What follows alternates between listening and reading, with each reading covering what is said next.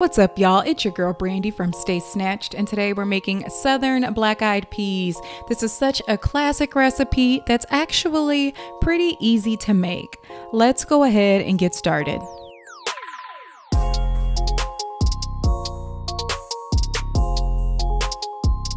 I am going to start by filling a large pot with boiling water and then I'm going to add one pound of dried black eyed peas to that water.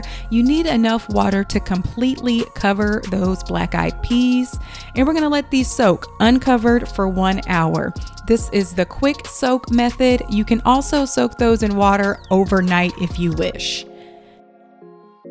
Then I'm going to take one teaspoon of olive oil along with one cup of chopped white onions. I'm going to saute those until translucent and fragrant.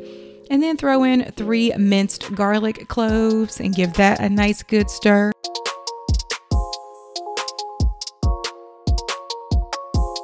And then I'm going to drain the black eyed peas and add them to the pot. Along with six cups of broth. I'm just using chicken broth here. Then I have one teaspoon of Creole seasoning and a bay leaf. Gonna give everything a nice good stir. Then I'm gonna add in one smoked turkey leg. You can use a turkey wing if you like. I'm actually using a smoked turkey wing here. I sliced it in half so that it could fit. This weighed about three fourths of a pound. You can also use ham hocks, you can use bacon, turkey necks, whatever you wish. Then you're gonna place the lid on the pot and lower your heat to medium low. You're gonna let those cook for two to three hours until the beans are soft. You can always test one by grabbing one out of the pot and mashing it with a spoon or a fork. Then you're gonna open up that pot and remove the bay leaf and the smoked turkey.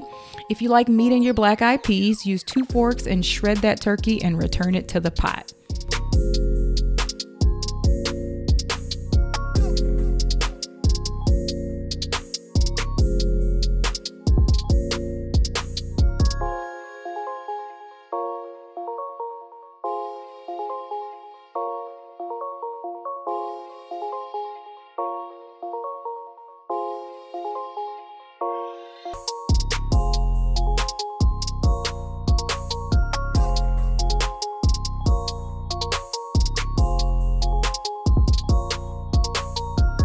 This right back to our pot of black eyed peas and give everything a nice good stir. Make sure you grab that bay leaf out of there.